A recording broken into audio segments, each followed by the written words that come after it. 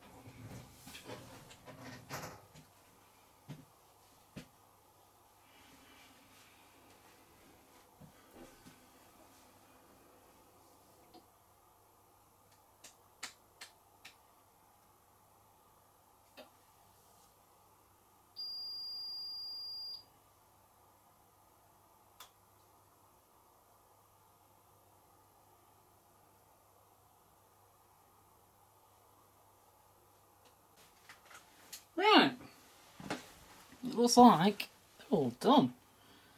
Right, so obviously the Ultima, I didn't realise how way behind it really was. Hmm. Obviously, uh, the 9.5 finished first, which was a bit of a surprise. And then there wasn't really much difference between these two. But then it just took forever for the Ultima. It's literally just unlocked.